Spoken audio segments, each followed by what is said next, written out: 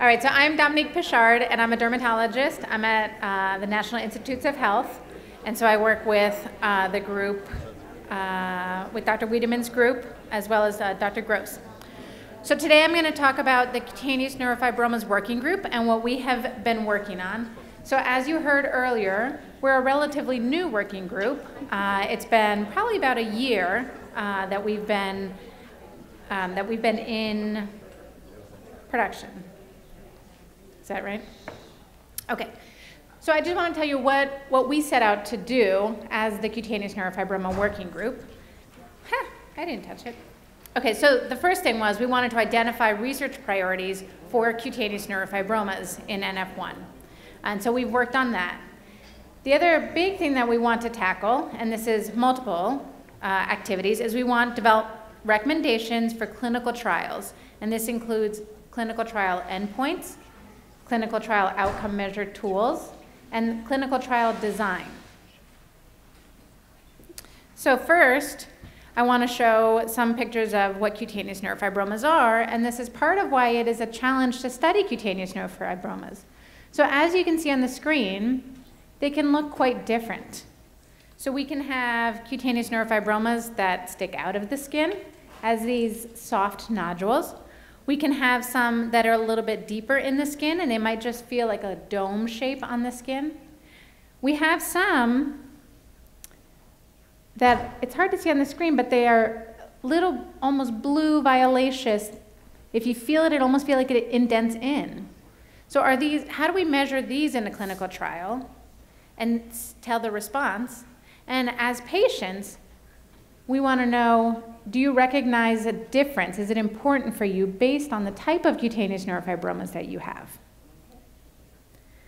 I also, because I'm a skin doctor, I look at the skin a lot, and I, I, I like pictures, but I wanted to show there's a lot of things on the skin of the general population, which includes individuals with NF1, that are not related to NF1. And I get asked a lot, this red thing, this cherry angioma, is not related to NF1. It's just a normal mole that comes sometime after you're 30.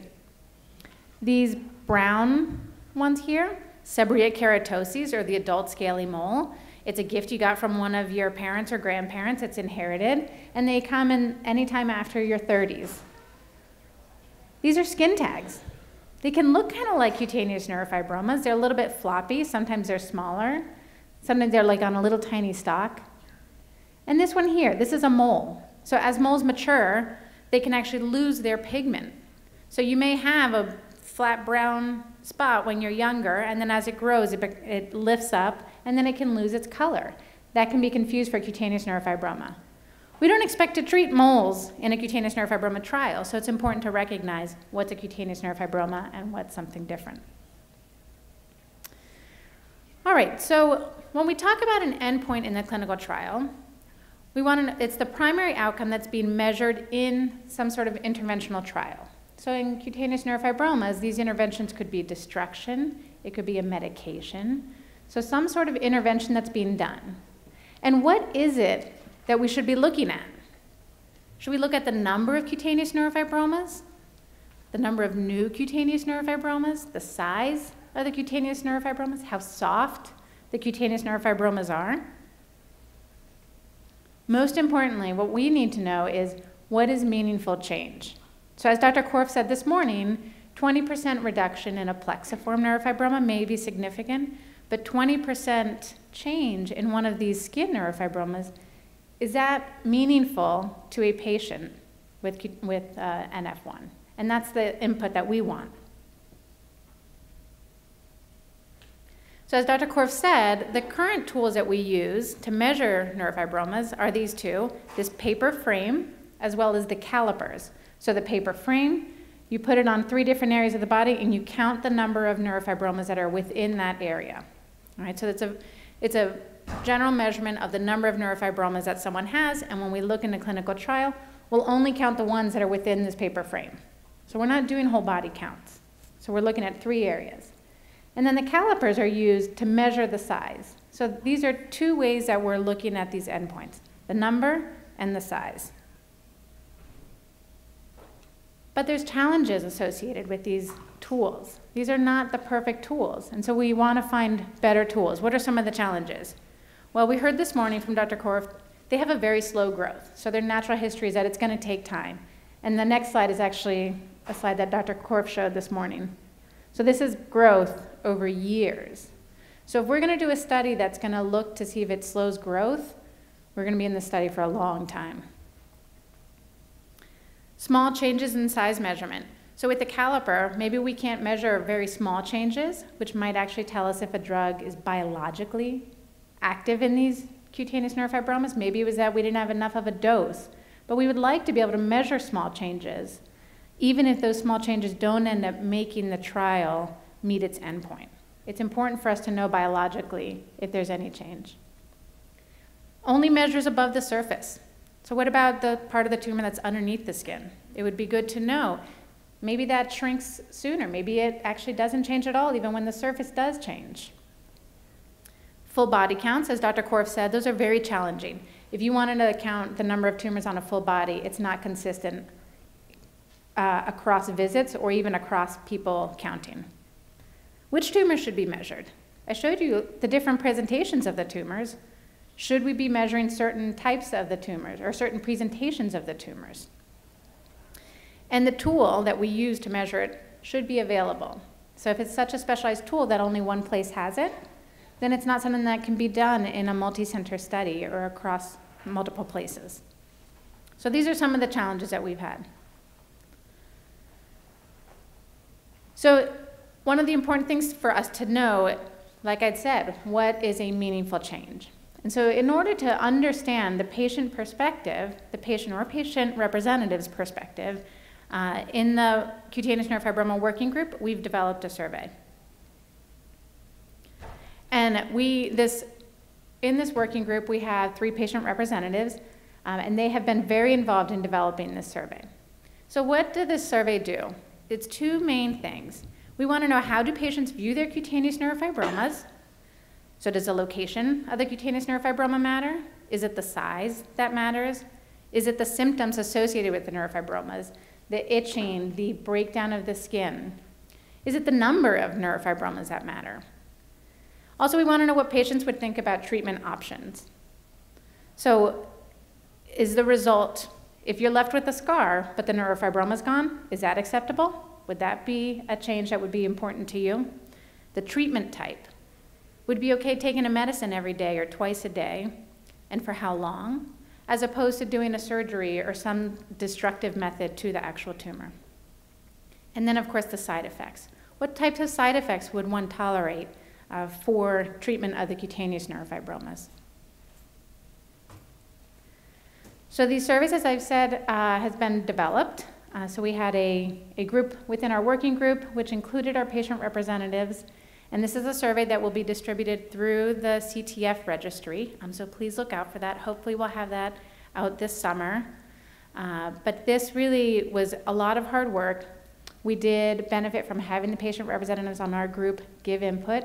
And then also Dr. Cannon reached out to a larger group of patient representatives to vet these questions, look at this, the study, make sure that we're asking the questions and getting back the answers that we think we're getting back. Phase two will be to do a second survey that'll be paired adolescents and the caretakers um, to see, to ask similar questions. So hopefully that'll be out in the fall or winter. So briefly, I want to just show you some of the proposed measurement tools. So we have a camera that can look at, it creates a 3D volume of the neurofibroma. Um, so that would be good for looking at the size that's above the skin. This is a picture of a high frequency ultrasound. So when you do an ultrasound, you can see what's underneath the skin. And then MRI. So these are just three proposed tools. what's the relative cost of those? Sure, that's a great question. question, please, yeah, so the question was, what is the relative cost of these tools? So this camera is about a ten to fifteen thousand dollar piece of equipment. So not something that people would buy to have at their house, but when you're talking about doing a research study, it's a reasonable cost. The ultrasound is on the order of $25,000. Again, within the reasonable realm for a research institution to invest in. MRI. Most institutions have an MRI. They may need to change the sequence to be able to look closely at the skin, but that's a tool that hospitals would have. So this is just an image of a cutaneous neurofibroma and what you can see on an ultrasound. Top of the skin here, this dark spot is your cutaneous neurofibroma. And then this is as you're going deeper into the body. Okay, so this is all skin. So there you're seeing a dark spot within the skin.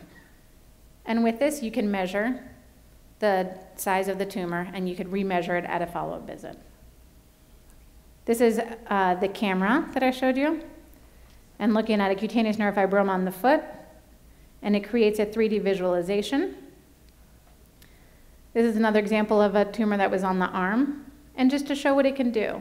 So using the software, you can create this topographic map of the tumor that then will give you a volume. So again, this is only on top of the skin. It's not answering the question about what's going on below the skin. And when you do this, you measure the swelling of the skin? Because, you know, some days the tumor's gonna appear to be bigger, and other days, on how dehydrated you are. So that's a, that's a, a great point to bring up. And it does not, would not necessarily take into account the swelling of the skin. What this does do, so a person has to circle. So this was my circling of the neurofibroma. And then what I did, well, I didn't include it in this picture, in this presentation, but then you circle an area around it to say this is going to be my background. So that may take into account some of that swelling of the area, but not the neurofibroma itself.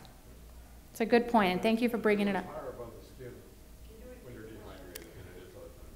I'm sorry, the question was, uh, does this take into account any swelling uh, that occurs? Because uh, you're saying that it can change day by day. You work in a really hot space, you sweat a lot, Mhm. the tumor's gonna appear to grow. So the tumors can appear to grow in a very hot space uh, on, on the skin. We'll have to temperature control. Say that that's not been shown before, so that's so interesting to hear. You know, the, with these tools, you'd be able to actually ascertain that. hmm Yeah, that's a great, uh, that's a great point. Right, and then finally, I just want to um, briefly mention, Dr. Korf did mention it um, this morning, I believe, but the selumetinib study for cutaneous neurofibromas, um, so University of Alabama has already started enrolling patients. Uh, and at NIH, we will start enrollment soon. Um, but just a general timeline. Um, so at the first visit, what we're doing is we're measuring the cutaneous neurofibromas. So we're using those two tools that I talked about, the paper frame and the caliper.